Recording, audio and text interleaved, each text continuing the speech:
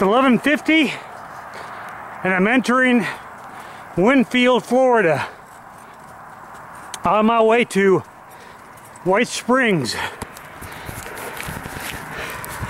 It's a great walk so far this morning.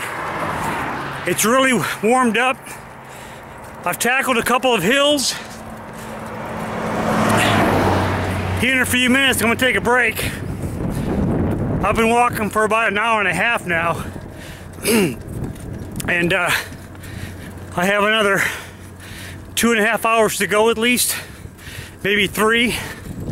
So it's gonna be lunchtime here in a few minutes. And I'll uh, submit a video then as well. So, marching on and Semper Fi.